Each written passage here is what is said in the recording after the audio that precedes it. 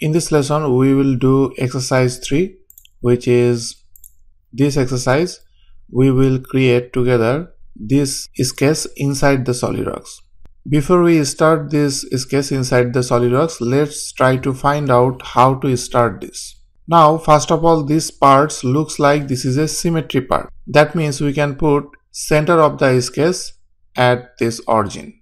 Then we have to create two circle here, also two circle at the other side. These two dimension mentioned here, both diameter are same on this side also because you can see from here this is equal relation 13 and 13 3 and 3 so both diameter are same.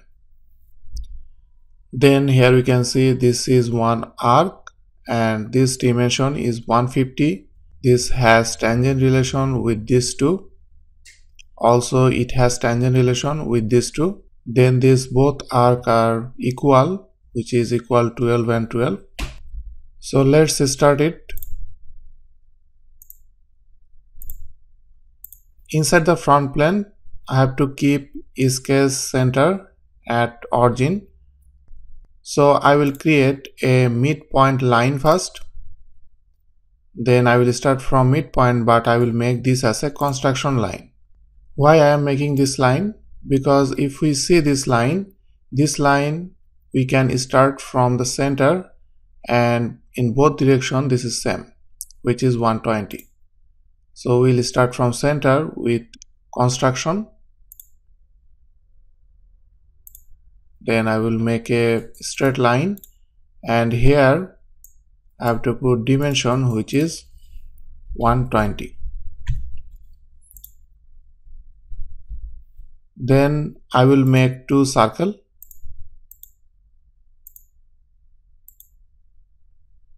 On the other side I will create two more circle.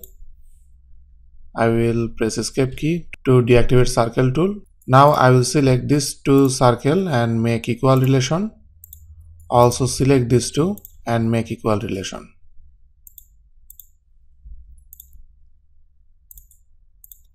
I have to put dimension for this circle first one is 45 second one is 20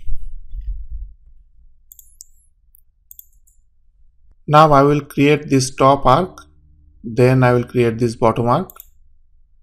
To create it I will activate this three point arc. I will select anywhere on this circle. Also I will select anywhere on this circle. Then I will make somewhere here. I will press OK.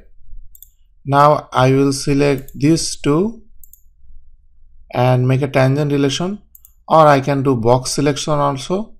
This is one kind of shortcut. I will select right to left. This will select these two. Also the same option is showing make tangent. I will do the same for this. You have to make sure there is no other entity is selected. Let's say I'm trying to select from here you can see this is also selecting this. In that case it will not show you that tangent. So you have to be careful about that. I will put tangent relation. Now I have to put radius which is 150 so one side is done. I will create arc in another side. I will follow same step